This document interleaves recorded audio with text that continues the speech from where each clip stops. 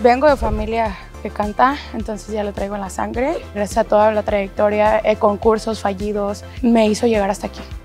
A mí me gusta cantar desde chiquita, podría decirse. Mi chispa sería más como los musicales. Pues nunca había estado en un escenario. Primero estaba con los ojos cerrados y ya como que empecé a agarrar confianza.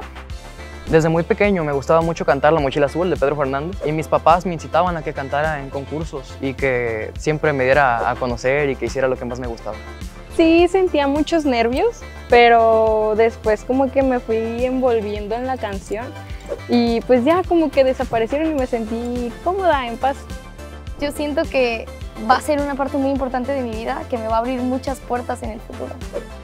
Hace mucho me dijeron, ruge, estoy haciendo lo que me gusta, algo que me llena.